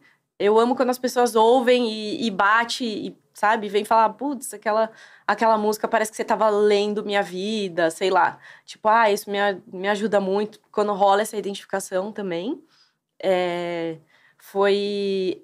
E ele foi completamente descolado do skate, isso que foi Uhum. propositalmente pensado Sim. também. Porque era um outro. Uma outra frente, assim, um outro lado que eu precisava colocar pra fora. Tipo, as pessoas que ouvem ficam até meio sem entender, assim. Tipo, como que aquela menina do skate, que é engraçada e que é... Fala um monte de coisa, tipo... Tá falando essas coisas tristes aqui. Que é tri... Ele é um, é um disco triste. Tem algumas músicas mais descontraídas, mas ele é, ele é denso. Uhum. Tipo, é um disco que tem muita, muitas camadas. Tem uma Ele- música chamada Terapia, Aham. né? Não à toa. E, e ele, é, até a, a parte visual também, não teve nenhuma referência de skate. A gente foi por, um, por uma coisa assim mais, é, mais pop até, eu acho, e mais verdadeira de, de do que eu vivi ali com recorte, com colagem, com com figurino super simples, é tudo tudo bem simples, sabe? Menos as músicas que são complexas, com camadas. Você tem parcerias com bandas como Cansei de Ser Sexy, né? Que assim, Sim. destravou uma memória da minha adolescência absurda. Como que foi que também construir isso e ter esses feats? Ah, o Cansei foi uma surpresa, assim, muito maravilhosa na minha vida. Acho que a conhecer a Luísa e as meninas foi um presente. Primeiro porque era uma banda que eu admirava muito na adolescência. E segundo porque a música ficou muito legal. O clipe ficou muito legal, se vocês não assistiram ainda. A música chama Cuckoo Crazy. E a gente gravou esse clipe com a Camila Cornelsen na Califórnia. Tem a minha filha no final do clipe fazendo papel de, de eu no passado, né? Que ela, vamos combinar, né? Que ela é muito igual. É, É absurdamente cloninho, né? igual. E aí tem esse. E a gente quis trazer essa coisa do passado até pelo resgate da, da nostalgia. Papel de Carta ele é um disco nostálgico na Uhum. sonoridade e, na, e no visual também. E, e o Cansei de Ser Sexy voltou ativa agora, eles vão fazer show. Então eu fiquei muito feliz, assim, por ter feito parte tão pertinho, assim, da, dessa narrativa. E é é uma música que eu amo, é uma música que é, ela, ela entrou na versão deluxe do disco, mas que fez muito sentido e... Ouçam lá, ouçam lá e vocês depois me falam o que, que vocês acham. Vocês, É. vocês ouviram, chegaram a ouvir, não? Sim. Essa é a tua música favorita do álbum? Putz, que saia justa. Como você pergunta pra uma mãe qual é o filho preferido dele? Eu- Isso sempre diz muito. É, não, então, é que assim, às vezes a última música fica sendo a favorita. Sabe? Tipo assim, ah, a última que você lançou. A minha favorita a- do disco, assim, é, eu acho que é Hiperventilando. E é a favorita de várias pessoas também. Eu gosto muito de terapia também, apesar dela ser uma vinheta. Terapia tem uma resposta ali pra Fresno. Eu, É como fã é de Fresno, assim, é uma né? Quando eu ouvi, eu falei, hum, peguei a ref. É um shadezinho. É. Como é que é? é... Que a sua alegria só você pode cancelar. É. Quando eu ouvi essa frase, eu falei, eita, ouvir. Aí, ó. Fofoca do mundo pop. Sim, apesar dele ter sido produtor do disco, foi engraçado quando. Porque a gente, a gente produz. é, esse disco em especial, ele produziu inteiro. O, o meu primeiro EP eu coproduzi, então eu já chegava com as coisas prontas. Esse ele meio que fazia as bases e eu fazia as letras e as melodias, né? E aí, quando eu cheguei com essa letra, tipo, foi engraçado ver a reação dele, assim. A hora que. Ah, como é que é essa parte? É, não, então é. E eu já falei olhando pra cara dele. É, mas saiba que a sua alegria, a minha alegria só eu que posso cancelar. Aí ele. Entendi. Entendi. Muito Amei, bom. gostei muito disso. É, outra coisa que a gente não pode falar, a gente já né, pincelou aqui, é a questão maternidade, a questão Sky na tua vida, que foi uma das grandes mudanças. Você sempre quis ser mãe? Sempre foi um, um projeto, Karen? Mas eu acho que eu sempre tive nos planos, assim. Talvez por uma. Por aquela coisa de, de pressão inconsciente da sociedade, sabe? Eu, Uhum. nunca, não- eu nunca questionei não ter filhos. Que é uma coisa que as, que as mulheres questionam agora, porque elas, Uhum. elas sabem que dá. Mas eu nem sabia que não dava pra não ter filho, olha só. eu achava que, tipo, em algum momento ia ter que ter filho, era meio óbvio, né? É, e, e, e foi uma grata surpresa, assim, porque eu me acho uma boa mãe. Eu achei que, tipo, eu deixo todas as minhas plantas morrer. Eu achei que não ia dar bom. Eu, tinha É certeza que que, bom é que criança, ela faz o barulho, né? Você lembra que ela tá ali? bom. É, não tem A como. planta- é que não tem como. Sim. As, as plantas podiam, né? Pô, Podia tô com fazer um sede, barulhinho, podia. Tipo, água, É, sabe? e você ama mais a criança do que você ama a planta também. Ou o pet, é diferente. E aí rolou, e tá rolando, assim, tá, tá super rolando. Cada fase é um desafio novo. Eu, quando a Sky nasceu, eu tinha o canal, então eu falava. E, e também isso é uma coisa que às vezes pergunto. Ontem o menino me perguntou, na pista de skate, do nada. Ai, com o que, que você trabalha? O menino que anda de patins. Eu. Ai, como é que eu vou explicar, né? Eu não sei com o que eu trabalho. Eu acho que eu sou influencer hoje em dia, né? Mas sou skatista também. E, faço música. Né? Acho que minha, São muitas coisas. né? é, mas, tipo, a música não me dá dinheiro. Então, como é que você responde o que que é sua profissão? Sua profissão é o que te dá dinheiro ou é a sua vocação? Ele não perguntou o que era a minha vocação. Sim. Eu falei, ah, eu trabalho com publicidade e música. Aí, aí eu fiquei, contei, né, que eu tinha o canal. Ele, ah, mas quais são os seus territórios? Eu, vixe, será que ele é de alguma agência? Ele vai me contratar? Ele sabe muitos termos, né? Aí eu falei, ah, eu acho que eu falo sobre, sei lá, sobre lifestyle, saúde, bem-estar. Talvez eu fale, porque eu falo bastante sobre alimentação. E eu falava muito sobre maternidade, só que é, não era. Não era premeditado também. Eu compartilhava meu dia a dia. Então eu tava falando sobre maternidade sem saber que eu tava falando sobre maternidade. Uhum. As coisas funcionavam muito assim pra ti. Tu vai fazendo e aí tu, ah, eu tô fazendo. É, não, eu só descobri muito tempo depois, assim. Tipo, quando eu nem tava mais falando de maternidade. Aí, tipo, ah, mas você não fala de maternidade? Ah, nossa, é, eu falava de maternidade. Mas descobri tempos depois que também eu acho que com, é, começou a ser mais falado por mais pessoas, Uhum. né? Então hoje, hoje é um nicho. Mas há 10 anos atrás, não, eu não acho que era um nicho. Não. Não, mas acho que não era mesmo. Porque acho que tinha aquele, aquele lado muito romântico da maternidade, né? É, então não tô doida, ainda bem. Mas teve uma coisa muito legal que você falou quando eu tava falando do skate, que dá pra perceber que com a Sky você tá conseguindo fazer uma criação que talvez você não teve e muitas meninas até hoje não têm, né? Tipo isso. Roupas, por exemplo, quando vai ali numa loja, se ela não quiser se vestir de unicórnio, tá tudo bem ela querer se vestir Sim, de é super-herói. pior? Ela quer, Ela quer se vestir de unicórnio. Ela quer seguir o padrão. Quer, ela Poxa, quer Sky. seguir o padrão. Ela é a Barbie estereotipada. Ela é a Barbie estereotipada. Só que, ao mesmo tempo, a, a, a Barbie da perninha lá. Porque ela, ela também anda de skate com Porque você, ela é né? aquariana e ela é completamente maluca. então, é um mix muito bom. O que, que você acha que você mais aprendeu com a Sky? Putz, ah, essas perguntas assim é muito difícil de responder. Mas você sente que é uma outra Karen, né? Depois eu- não, aparece, a- tipo, aprende muitas coisas, mas eu não, não sei se tem uma assim que ah, é a principal coisa. Não sei. Talvez que, tipo, seu filho não vai fazer o que você quer que ele faça. E você vai ter que aprender a lidar com isso. Sim. Pelo menos no meu caso, né? Sim. E é isso, tipo, toda maternidade é diferente. Eu acho que todo ser humano também tem as suas, é, seus desafios que são diferentes. Eu acho que essa é a parte mais louca, né? Porque não, no final das contas tem, tem um quesito criação, tem um quesito valores, tem um quesito, enfim, que os pais passam pra gente. Mas tem uma coisa que a gente já nasce com, né? Com uma vontade de fazer alguma parada, assim. Que mesmo que não tenha o estímulo pra isso, tipo, talvez não- tivesse nenhum grande esportista do skate na tua família, mas tu, tu virou o que tu virou.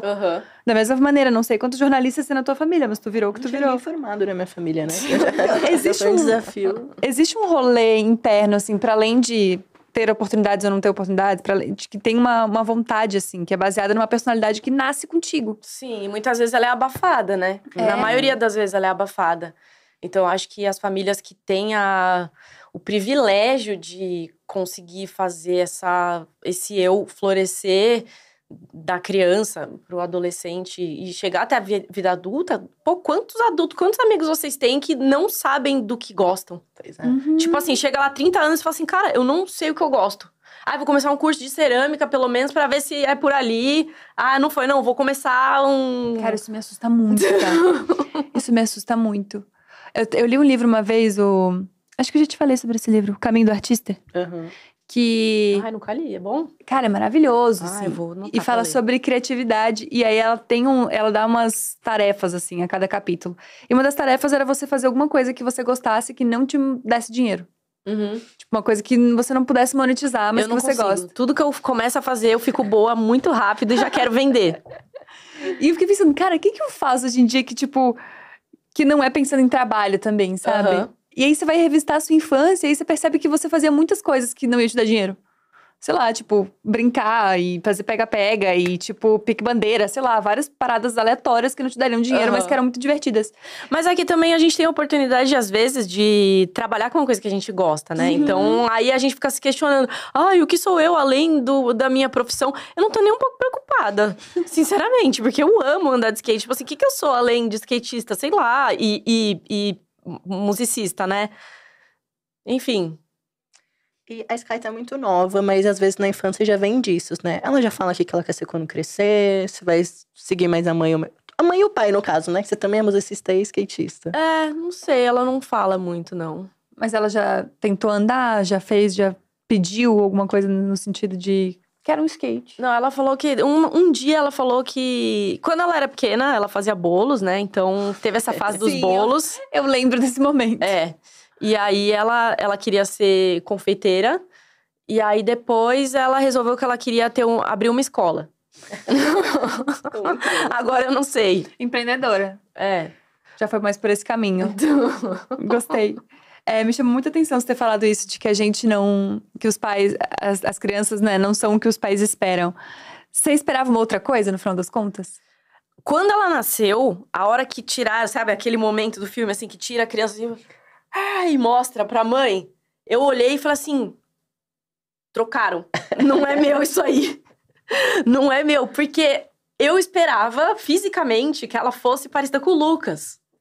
Eu, ach, eu, tipo, eu tinha certeza que ia nascer uma, uma menina moreninha com cabelinho de, de tigelinha, assim, tipo, meio indiazinha. E aí eu vejo aquele ser amassado, tipo assim, muito parecido comigo. E não mudou até agora. E eu, e, e- e eu foi muito estranho, juro. É muito louco. Sabe, sabe o que eu pensei agora? Por isso que a- a- aquelas LOL virou uma febre e chá de revelação é uma febre. Porque, tipo assim, a- a- você não saber o que que é, tem uma coisa que é misteriosa e de repente, tipo, ela se revela. Essa sensação é muito impagável. É tipo, uma eu, brisa, né? eu teria 40 filhos só pra ficar, só pra ver a cara deles. Aí depois, sabe? Tipo, só não, co- como é? Como vai ser essa mistura? É muito louco esse momento.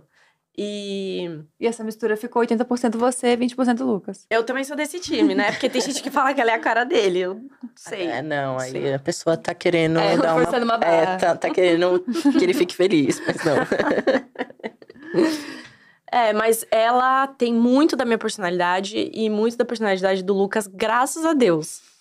Porque se- se fosse só da minha, eu ia estar enrascada. Será muito difícil, você acha? Ah, eu acho. E é isso, sem comentários. Sim, eu era, bastante. A gente tem um- Ainda sou aquelas. A gente tem um jogo aqui de recomendações. Tá. Então é aquele momento que a gente vai te falar alguma coisa, você fala o que, que você recomenda em- relação a isso. Tá. Uma banda feminina.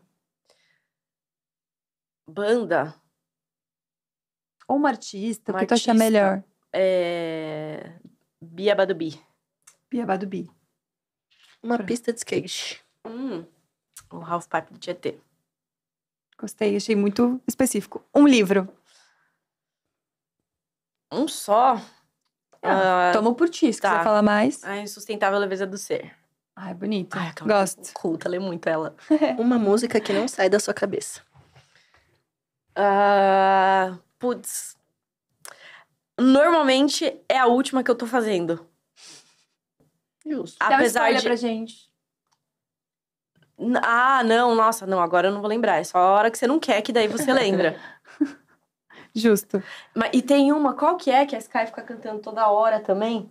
Ah, te- tem uma do de um artista que eu gosto que chama Breakins, é, que chama Teeth, a música. E quando vira e mexe, eu tô cantando ela. Um gosto completamente inusitado. Assim, uma parada que você faz o que você gosta que ninguém imagina. Hum, não sei. Muito livro aberto, né? É. Eu também sou assim, é uma desgraça. Mas teve um dia que eu choquei todo mundo, que eu falei que eu gostava de anime. Todo mundo ficou tipo, Realmente. Eu tô chocada agora com Viu? essa informação. eu sou super fã, Naruteira. E que eu gosto de luta, o diretor Nossa, eu lembrou vou, agora. Eu vou Luta? pensar sobre, mas Adoro é isso. UFC, menino. não Nossa, eu perco odeio um. UFC. Eu também É o odeio. esporte que pra mim não é esporte. Nossa, eu já causando amo. polêmica aqui. O esporte que não é Não é esporte. O esporte. quê? Aquela do nada. Começa uma treta no, no podcast. Um reality show. Putz, reality show eu não, não assisto muito. Você Nenhum. participaria de algum? Eu já fui convidada pro Big Brother. Mentira! Já. E falou não, obviamente, que a gente não te viu lá. Eu falei não, mas assim, foi um não muito dolorido de falar, sabe? Porque. Nossa, eu fiquei uns dois meses em crise, assim, tipo, ai meu Deus, será que eu vou? Será que eu não vou? Será Que eu Sério? vou? E aí eu não. O que, que te fez não ir? Eu tenho muita insônia. E aí eu ia morrer lá dentro, eu, tipo, e eu tomo remédio psiquiátrico também, então Hum. não. Ia, ia dar ruim. Ia dar ruim. Tá. mas, é mas foi pelo lance da insônia, mais. Mas você foi convidada e, tipo, fez algumas etapas ou você só no convite já falou que não? Não, foi só aquele primeiro convite que o menino te liga. e Você tá, tipo, eu tava no mercado com a minha amiga. E aí ele, oi, tudo bem? Eu sou fulano de tal aqui da, da Globo. Eu vou te, quero te fazer um convite, mas provavelmente agora você. Eles sabem que a gente vai. Que, tipo, a- que vai só ficar um Sim. E você vai meio que esquecer depois de tudo que ele falou. E aí, a hora que ele, né, falou, a gente queria te convidar pra par- pra participar e tal. Mas é claro que depois tem várias etapas, então era uma primeira seletiva, mas mesmo pra essa primeira você tem que aceitar.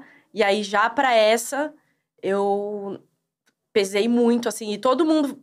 E eu não contei pra, não contei pra muita gente, mas as pessoas que sabiam, tipo, todo mundo era a favor, menos a minha mãe. E a, Olha. cara, e a minha mãe é muito louca, porque a minha mãe é. Ela não é. é- Ela não me manja muito em várias coisas. Mas em umas coisas, Ela sabe muito. ela vai no ponto. E ela foi a única que falou a opinião que era a que eu também achava.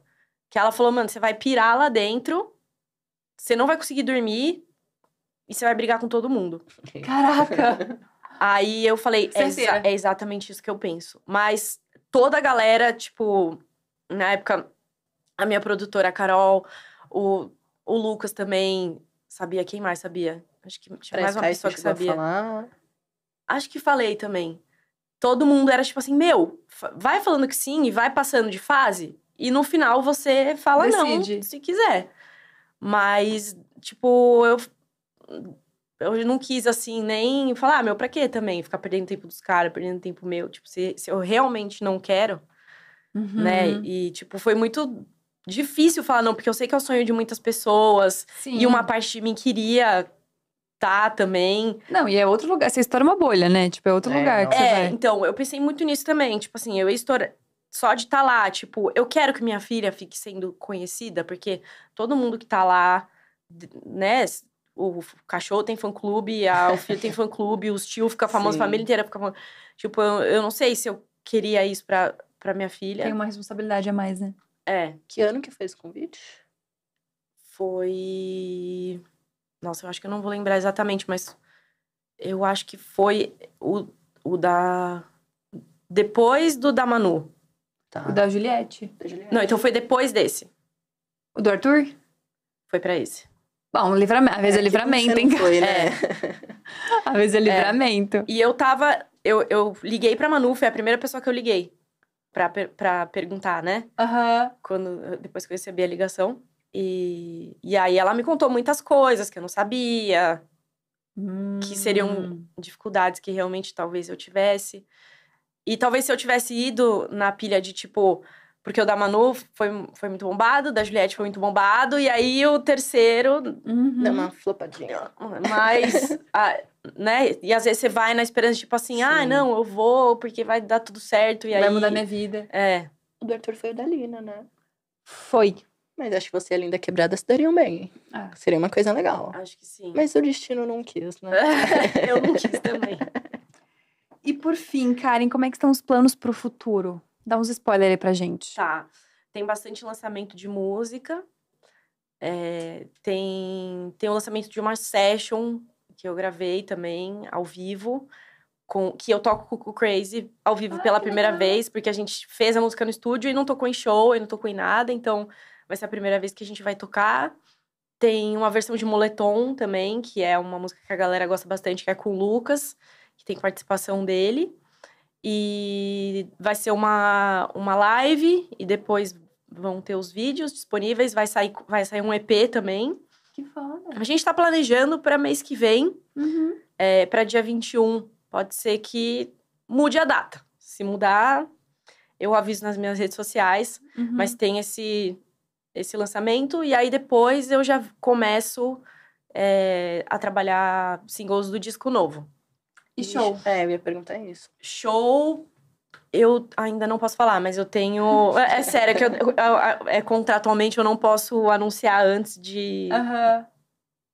da coisa anunciar. Aham. Eita. Mas tem show É. ainda no final desse ano, um show bem legal. E e aí o disco que fica pro ano que vem, mas eu já vou vir com singles e vídeos e e conteúdinhos nesse meio tempo. E eu tô bem empolgada pra próxima música. Inédita. E ela solta essa sem dar É. spoiler, galera. Muito surto. Não, eu dei o spoiler já que é o que vai ter o lançamento da música. Hum. Que mais que você quer saber?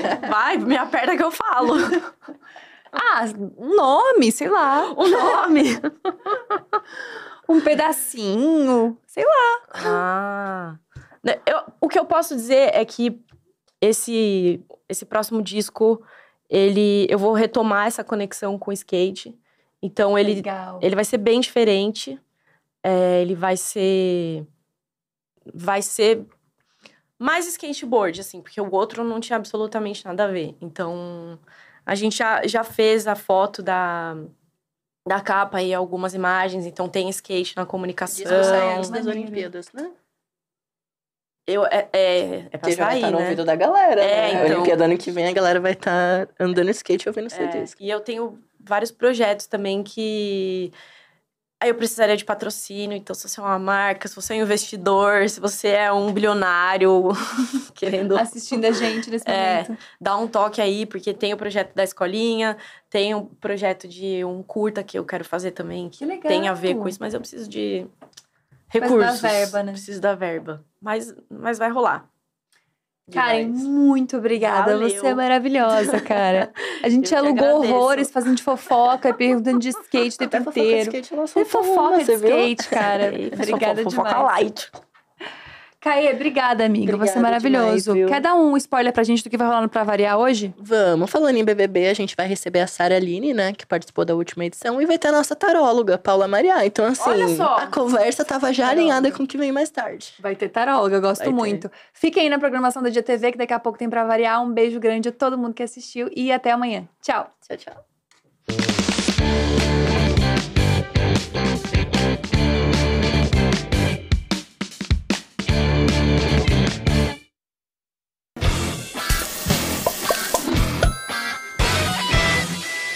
A Natura lançou o novo Natura Todo Dia, Toda Noite, que é uma linha de cuidados noturnos que te ajuda a dormir melhor, né? Já que cuidar do nosso sono é uma prioridade, por mais que às vezes a gente não faça direito, né, gente? É, porque a melhor maneira de começar o dia é com uma boa noite de sono, né? E pensando nisso, a Natura todo dia, toda noite tem produtos que melhoram a qualidade do seu sono, como o spray de ambientes, o creme nuvem relaxante, o concentrado relaxante. Você já conhecia a linha, amiga? Já conheci, já recebi esse mimo em casa, inclusive. Maravilhoso. E, gente, vale muito, sério. Esse spray, por exemplo, que prepara o ambiente, isso aqui é Nossa, maravilhoso, gente. Então, por exemplo, esse aqui que a gente passa no quarto, já dá um ambiente muito mais aconchegante. O cérebro já entende que, tá, ela tá mudando o mood dela agora, tá desligando e se preparar pra dormir. E o creme nuvem, a textura do creme nuvem. Isso aqui a o tempo inteiro, menina. Você entra É um vício. Se quiser dar uma Ah, hidratada é um vício. já. Não, essa textura pra mim